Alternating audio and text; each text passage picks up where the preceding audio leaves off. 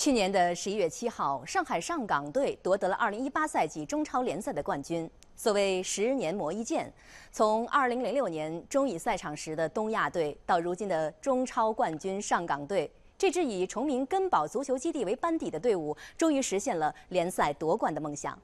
春节前夕，东方卫视的记者重逢上港队的球员，感受他们的光荣与梦想。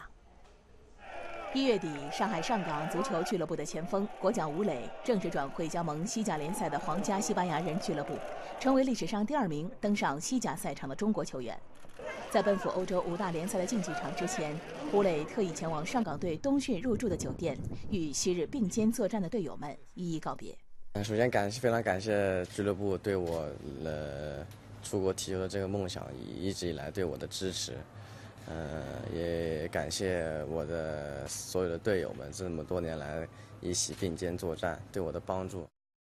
吴磊从2013年征战中超联赛以来，共收获了一百零二个进球，是中超历史上进球最多的球员。2018赛季，吴磊以二十七粒进球当选中超最佳射手及年度最佳球员。去年十一月七号，中超联赛第二十九轮，上海上港队坐镇主场迎战北京人和队。吴磊和队友最终以二比一夺取胜利，帮助上港提前一轮夺得中超联赛冠军。这也打破了广州恒大队连续七年夺冠的局面，让上海足球再次站上了中国顶级联赛的最高领奖台。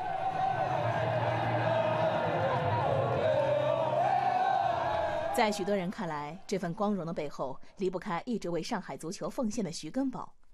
上港许多队员，吴磊、严俊凌、蔡慧康。王申超、吕文君都是徐根宝从崇明岛基地一手培养起来的。在上港队2018赛季的总结会上，徐根宝在弟子们的簇拥下，骄傲地捧起了火山杯。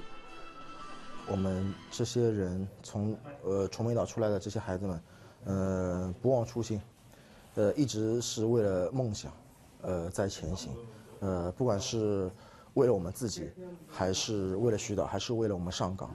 我们都全力以赴，呃，每一场比赛都是都是为了那个梦想，呃，去拼。因为我们这批球员之前从全运会冠军，然后拿过中乙冠军，再从中甲，然后这次又拿了中超冠军。我们等于说是从一路上靠我们这些人一路上打拼上来的。我觉得这个意义可能比仅仅拿一个冠军来说，嗯，更加的有就是纪念的意义。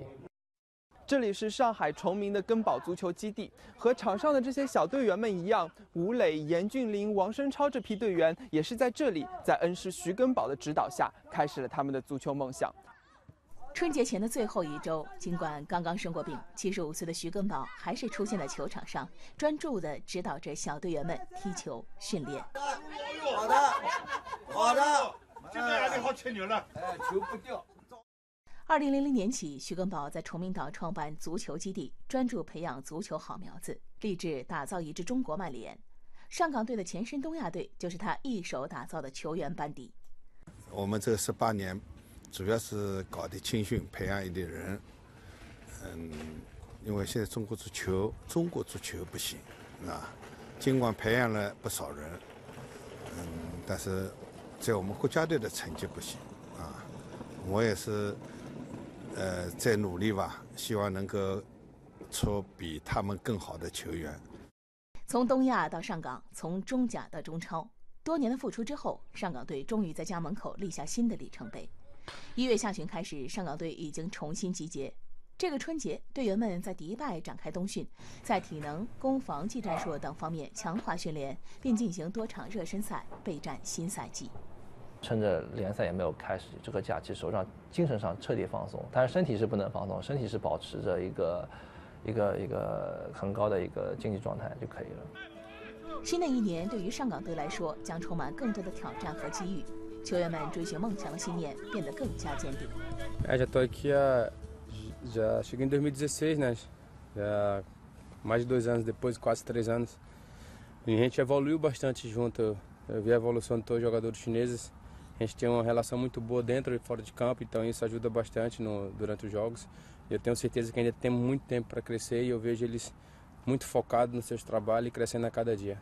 相信上港在后面的赛季会越来越好，会一直保持呃在中超的前列。